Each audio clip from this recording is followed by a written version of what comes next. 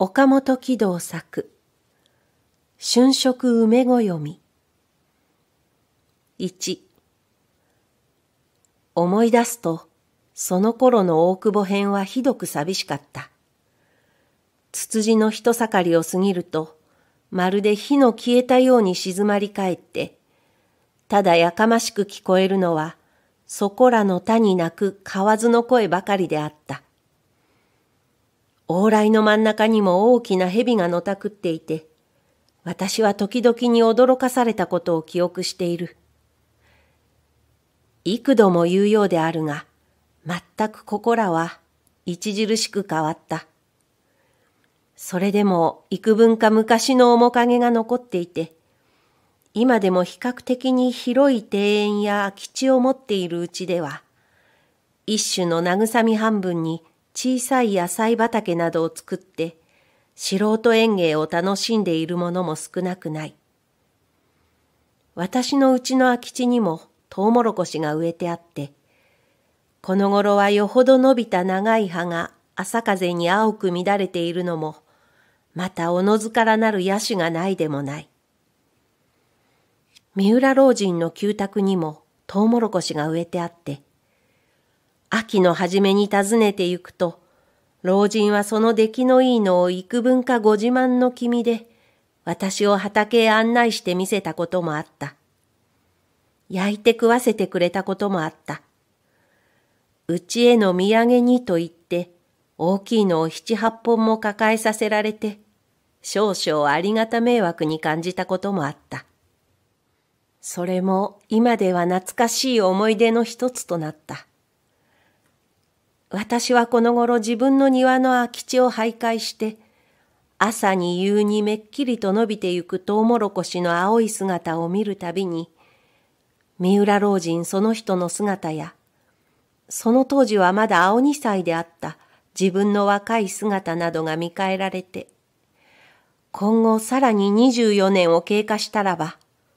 ここらのありさまもまたどんなに変化するかなどということも考えさせられる。これから紹介するのは、今から二十幾年前の秋、そのトウモロコシのごちそうになりながら、縁先にアンペラの座布団を敷いて、三浦老人と向かい合っていた時に聞かされた昔話の一つである。その頃に比べると、ここらのやぶかはよほど減った。それだけは土地繁盛のおかげである。老人は語った。これはここからあまり遠くないところのお話で、新宿の新屋敷と言っても、あなた方にはお分かりにならないかもしれませんが、つまり今日の千駄ヶ谷の一部を江戸時代には新屋敷と唱えていました。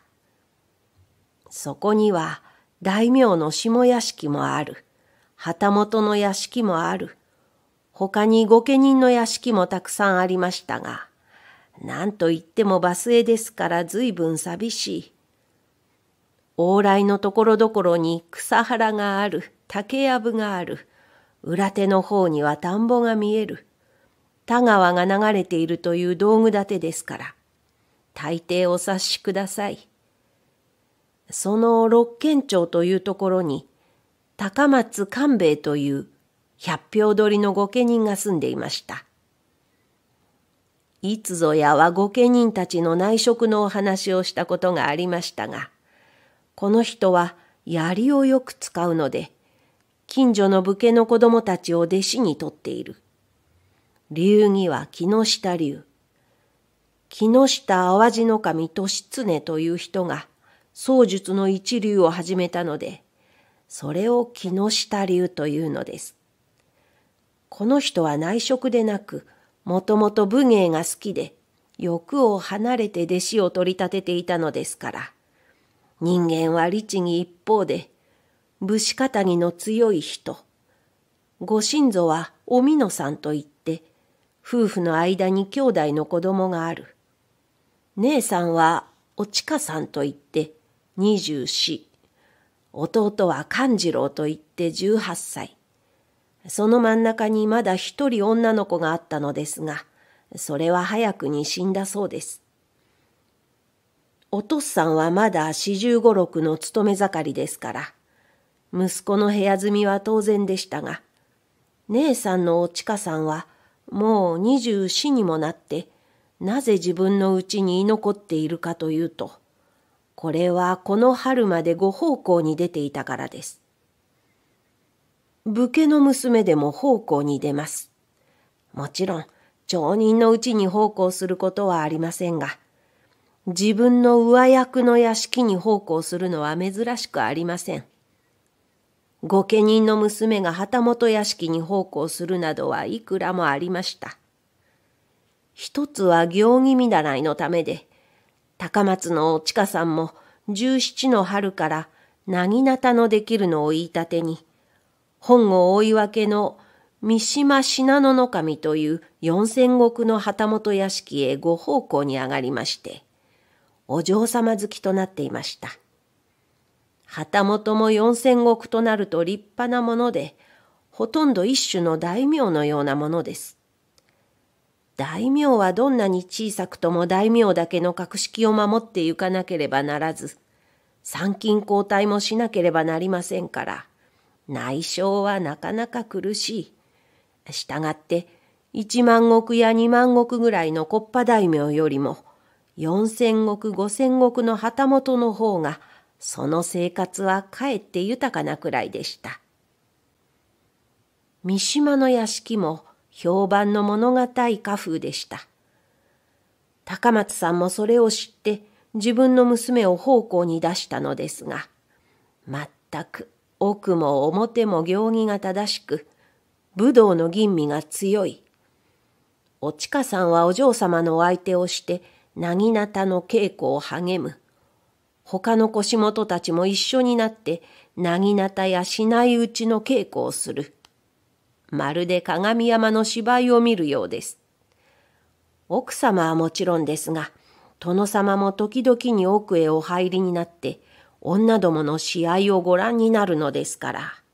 女たちも一層熱心に稽古をする。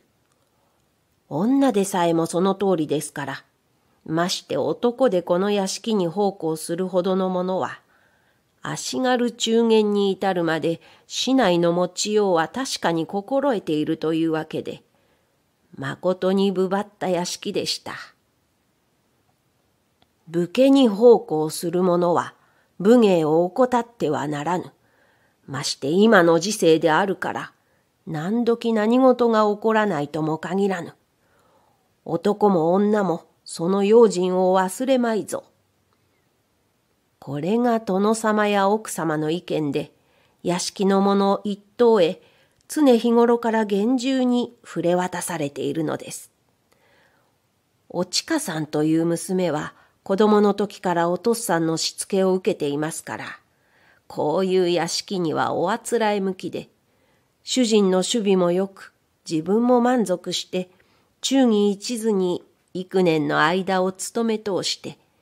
なぎなたやしないうちに娘盛りの月日を送っていました。これはおちかさんに限らず、御殿奉公をする者は皆そうでしたろうが、とりわけてこの屋敷は武芸専門というのですから、勤め向きも余計に骨が折れたろうと思われます。しかし、どの奉公人もそれを承知で住み込んだものばかりですから、別に苦労とも思わなかったのです。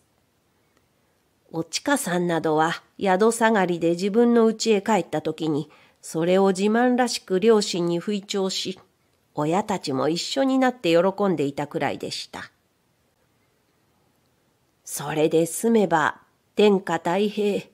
いや、ちっとぐらいの騒動が起こっても大丈夫であったのですが、ここに一つの事件が出退した。というのは、この屋敷のお嬢様が病気になったのです。何しろ殿様も奥様も前に言ったような寄付の人たちですから、どうも今時の若い者は気に入らない。したがって、今日までに縁組の相談があっても、あんな重弱な奴のところへは嫁にやれないとか、あんな不心得の人間を婿にはできないとか、いろいろ難しいことを言って断ってしまうので、自然に縁遠い形になって、お嬢様は21になるまで親の手元にいて、相変わらずなぎなたやしないうちの稽古を続けている。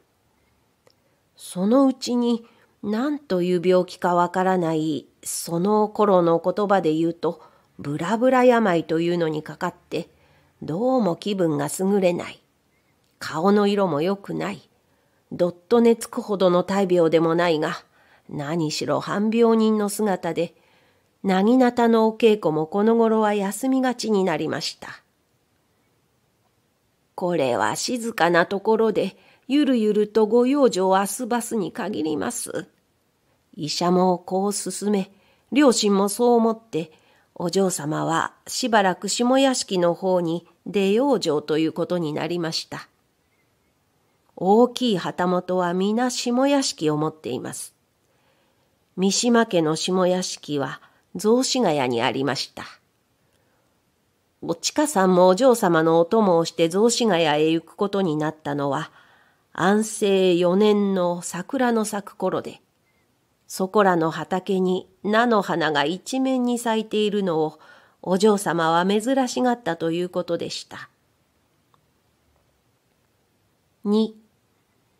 どこでも下屋敷は辞書をたくさんにとっていますから、庭も広い、空き地も広い。庭には桜や山吹が咲き乱れている。天気のいい日にはお嬢様も庭に出て木の影や池の周りなどそぞろ歩きして少しは気分も晴れやかになるだろうと思いのほかうららかな日に庭へ出て暖かい春風に吹かれているとかえって頭が重くなるとか言ってお嬢様はめったに外へも出ない。ただ垂れ込めて鬱陶しそうに春のひながを暮らしている。ことに花時の癖で今年の春も雨が多い。そばについているものまでが自然に気がめいって、これもお嬢様同様にブラブラ病にでもなりそうになってきました。医者は三日目に一度ずつ見回りに来てくれるが、お嬢様はどうもはっきりとしない。すると、ある日のことでした。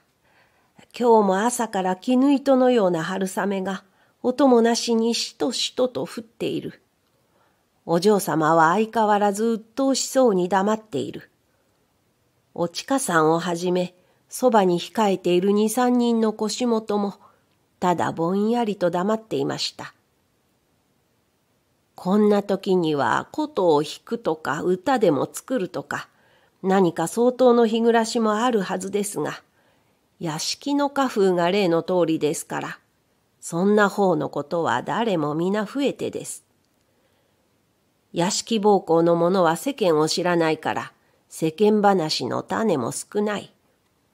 もちろんここでは芝居の噂などが出そうもない。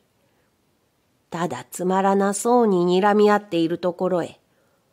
おせんという女中がお茶を運んできました。おせんは始終この下屋敷の方に詰めているのでした。どうも毎日降りまして、さぞご退屈でいらせられましょう。みんなも退屈しきっているところなので、このおせんを相手にしていろいろの話をしているうちに、何かのきっかけからおせんはその頃流行の草草子の話を始めました。それは例の種数の知らぬい物語で、どの人も生まれてからほとんど一度も草草子などを手に取ったこともない人たちなので、その面白さに我を忘れて、皆うっとりと聞き惚れていました。お嬢様もその草草子の話がひどく御意に行ったと見えて、日が暮れてからもまたその噂が出ました。線を呼んでさっきの話の続きを聞いてはどうであろう。誰も故障を言うものはなくて、お線はお嬢様の前に呼び出されました。そうして五つ午後8時の時計の鳴る頃まで、青柳俊之助や鳥山秋作の話をしたのですが、それがやみつきになってしまって、それからはおせんが毎日知らぬい物語のお話をする役目を承ることになりました。おせんがどうしてこんな草草子を読んでいたかというと、この女は三島家の知行所から出てきたものではなくて、下屋の方から、実は私の家の近所のもので、この話もその女から聞いたのです。奉公に上がっているものですから、うちにいた時に草草子も読んでいる。芝居も時々には覗いている。そういうわけですから、例の知らぬい物語も知っていて、図らずもそれがお役に立ったのです。その中でも、その教訓に強く感化されたのは、かのおちかさんでした。どうしたものか、この人が最も熱心に教訓亭崇拝者になりきってしまって、読んでいるばかりでは堪能ができなくなったと見えて、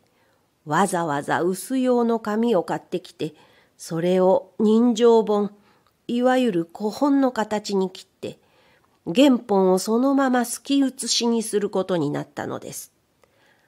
おちかさんは手筋がいい。その器用と熱心とで根気よく丹念に一枚ずつ写していって、幾日かかったのか知りませんが、ともかくもその年の暮れまでに梅ご読み四編十二冊、しかも口絵から挿絵まで残らずきれいに写し上げてしまったそうです。今のおちかさんの宝というのは、ご奉公に出るときに、おとっさんから譲られた二次国年。おそらく本物ではあるまいと思われますが、の担当と、春色梅ご読み十二冊の写本とで、この二つは身にも代え難いというくらいの大切なものでした。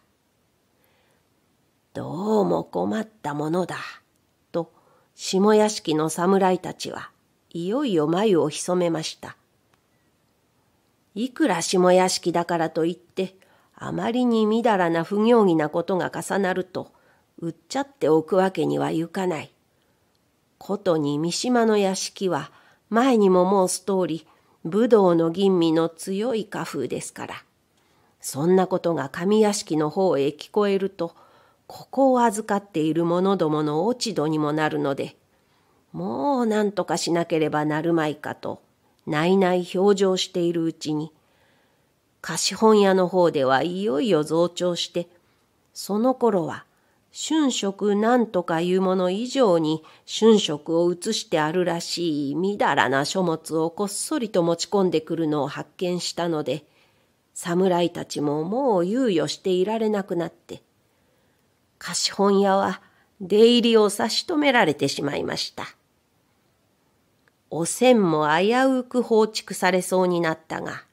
これはお嬢様のお声がかりでわずかに助かりました。貸本屋の出入りが止まるとなると、おちかさんの写本がいよいよ大切なものになって、おちかさんは内緒でそれを読んで聞かせて、みんなを楽しませていました。野に捨てた傘に用あり水仙か、それならなくに水仙の、霜よけほどなるわび住まい。こんな文句はみんなも暗記してしまうほどになりました。そうしているうちに、こんなことが自然に上屋敷の方へ漏れたのか、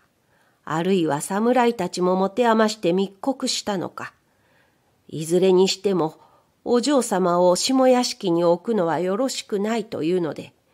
病気全開を口実に本郷の方へ引き戻されることになりました。それは翌年の2月のことで、ちょうど出代わり時であるので、おちかさんともう一人、お冬とかいう女中がおいとまになりました。下屋敷の方では、おせんがとうとう放逐されてしまいました。普通の女中とは違って、おちかさんはお嬢様のお嫁入りまではご奉公するはずで、場合によってはそのお嫁入り先までお供するかもしれないくらいであったのに、それが突然にお暇になった。表向きにお人べらしというのであるが、どうもかの貸本屋一軒がたたりをなして、おちかさんともう一人の女中がその首謀者と認められたらしいのです。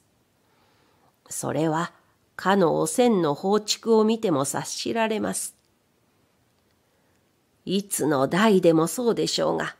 とりわけてこの時代に主人が一旦暇をくれると言い出した以上、家来の方ではどうすることもできません。おちかさんはおとなしく、この屋敷を下がるより他はないので、自分の荷物を取りまとめて、新屋敷の親元へ帰りました。そのつづらの底には、かの春色梅暦の写本が忍んでいました。三お父さんの高松さんは物がたい人物ですから、娘が突然に長野糸間を申し渡されたについて、少しく不審を抱きまして、一応はおちかさんを戦議しました。どうも腑に落ちないところがある。奉公中に何かの落ち度でもあったのではないかそんなことは決してございません。おちかさんは固く言い切りました。自節柄、お人べらしと申すことで、それは奥様からもよくお話がござりました。まったくこの自節柄であるから、諸屋敷で人べらしをすることもないとは言えない。ことに三島の屋敷のことであるから、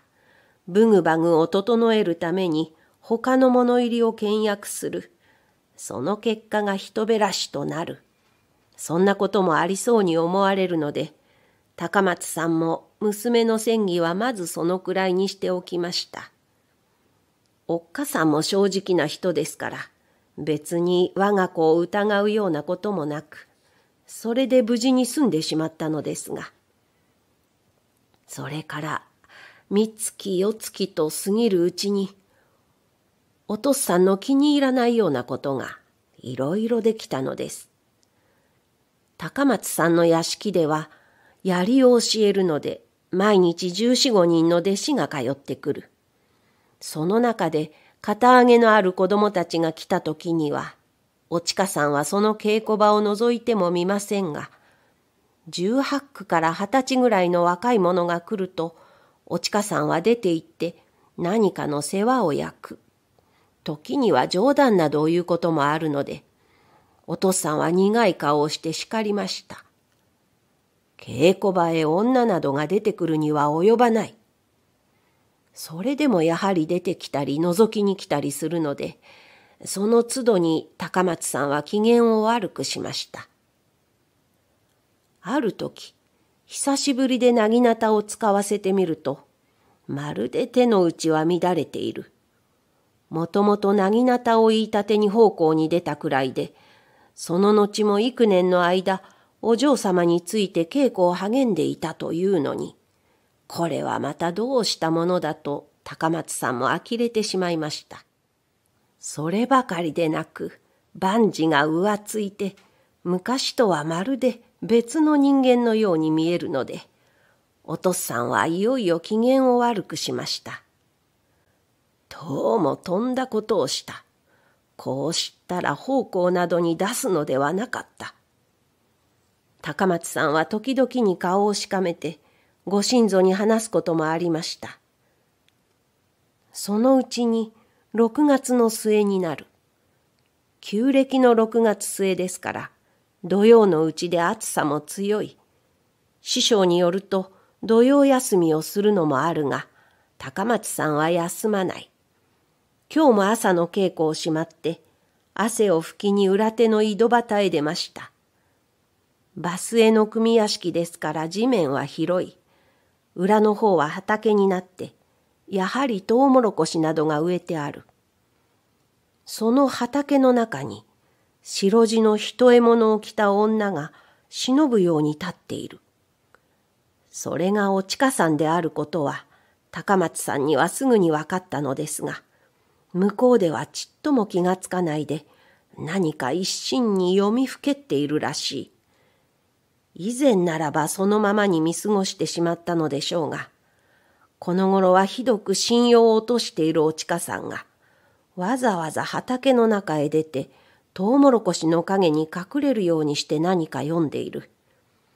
それがお父さんの注意を引いたので、高松さんは抜き足をしてそっとその後ろへ回って行きました。日をよけ、人目をよけて、おちかさんがトウモロコシの畑の中で一心に読んでいたのは、例の写本の一冊でした。こんなものが両親の目に留まっては大変ですから、おちかさんは自分のつづらの底深く秘めておいて、人に見つからないようなところへ持ち出してそっと読んでいる。そこを今朝は運悪くお父さんに見つけられたのです。これは何だ？出し抜けにその本を取り上げられてしまったので、おちかさんはもうどうすることもできない。しかし、春色梅ご読みという下題を見ただけでは、お父さんにもその内容は一向わからないのですから、おちかさんもなんとかとんちを巡らして、うまくごまかしたいと思ったのですが、困ったことには本門ばかりでなく、男や女の挿絵が入っている。それを見ただけでも大抵は想像がつくはずです。おちかさんも返事に仕えておどおどしていると、高松さんは娘の襟髪をつかみました。けしからんやつだ。こんなものをどうして持っている？さあ来い。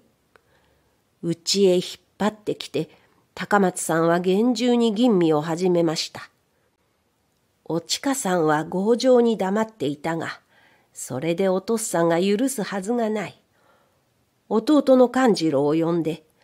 姉のつづらを改めて見ろという。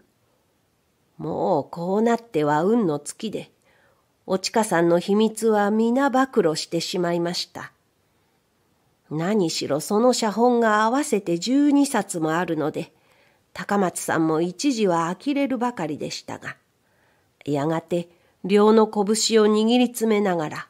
娘の顔をにらみつけました。いや、これでわかった。三島の屋敷から不意に糸間を出されたのも、こういう不埒があるからだ。女の身として、まして武家の女の身として、かようなみだらな書物を手にするなどとは、呆れ返ったやつだ。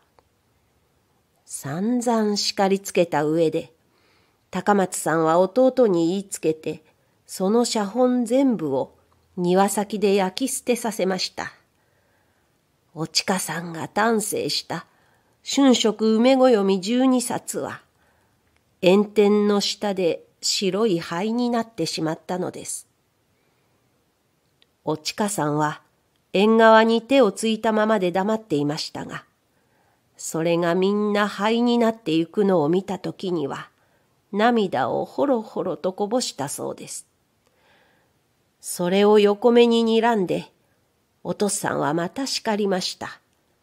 何が悲しい何を泣くたわけたやつめ。おっかさんはさすがに女で、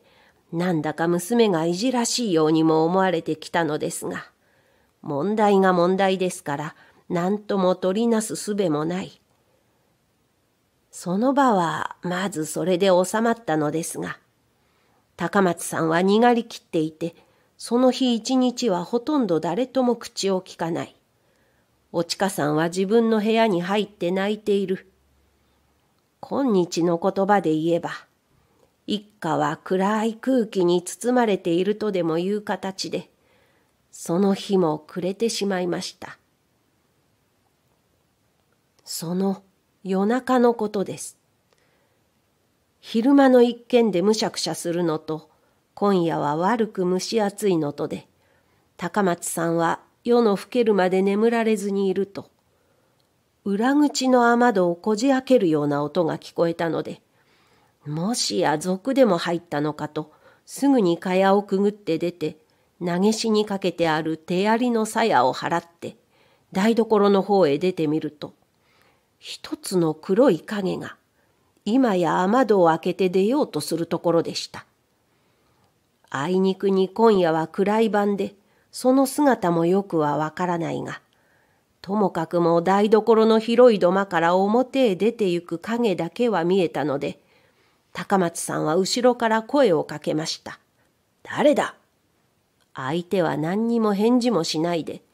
土間に積んである薪の一つを取って、高松さんをめがけて叩きつけると、暗いのでよけ損じて、高松さんはその薪雑砲で左の腕を強く打たれました。名を聞いても返事をしない。しかも手向かいをする以上は、もう容赦はありません。高松さんは土間に飛び降りて追いかけると、相手は素早く表へ抜けて出る。何しろ暗いので、もし取り逃すといけないと思ったので、高松さんはその足音を頼りに持っている槍を投げつけると、さすがは多年の主練で、その投げ槍に手応えがあったと思うと、相手は悲鳴を上げて倒れました。この騒ぎに家中の者が起きてみると、一人の女が投げ槍に縫われて倒れていました。背から胸を貫かれたのですから、もちろん即死です。それはおちかさんで、着替えに三枚を入れた風呂敷包みを抱えていました。おちかさんは家出をしてどこへ行こうとしたのか、それはわかりません。しかし、おせんの話によると、それより五六日ほど前に、おせんが大木戸の親類まで行ったとき、途中でおちかさんに会ったそうです。おちかさんはひどく懐かしそうに話しかけて、私は再び奉公に出たいと思うが、どこかに心当たりはあるまいか。屋敷には限らない。超過でもいいというので、超過でもよければ心当たりを探してみようと答えて別れたことがあると言いますから。あるいはおせんのところへでも頼っていくつもりであったかもしれません。別に男があったというような噂はなかったそうです。お父さんに声をかけられたとき、こっちの返事のしようによっては、まさかに殺されもしなかったでしょうに。手向かいをしたばっかりに、とんでもないことになってしまいました。